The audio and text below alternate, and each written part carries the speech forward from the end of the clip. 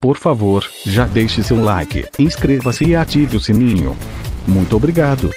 Nos próximos capítulos de Espelho da Vida, após levar um soco de Danilo, Rafael Cardoso, e jurar para o pintor que ele nunca mais ficará com Júlia, Vitória Estrada, Eugênio, Felipe Camargo, se encontrará novamente com o artista. Enquanto estiver numa estrada com a filha e Piedade, Júlia Limertz, o malvado será abordado pelo galã.